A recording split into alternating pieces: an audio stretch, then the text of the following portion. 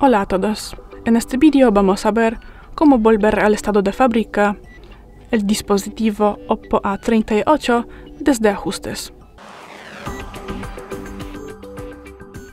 Pues para esto entramos, los, eh, entramos en los ajustes y luego tenemos que pasar a la pestaña ajustes adicionales.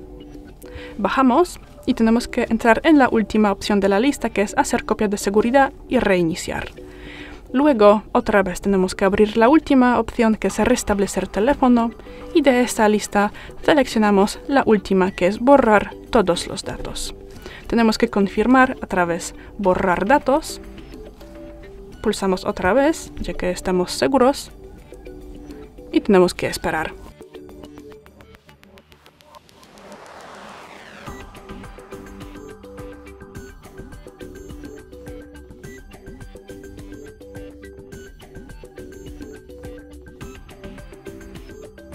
Vale, y ya es todo.